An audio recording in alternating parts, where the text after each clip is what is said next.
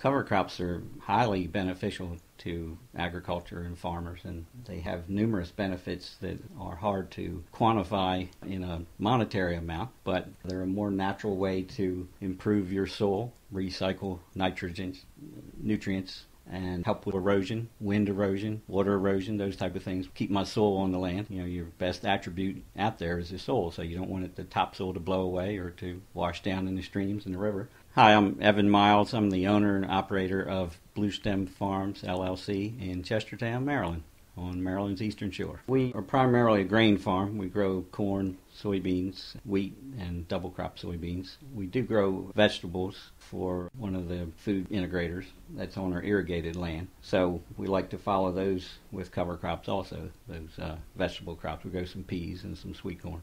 A lot of our farms are sandy loam type soils, and you have to worry about nitrogen leaching with those. So we've had three bad crop years, and so we may have some excess nitrogen left over in our cornfields. So we definitely planted cover crops behind them to help absorb those and keep those up in the upper soil profile. By recycling those nutrients, kind of helps feed the microorganisms and the things going on below the soil surface also. And so those are some of the biological benefits that you can't see, but it's definitely improving your soil.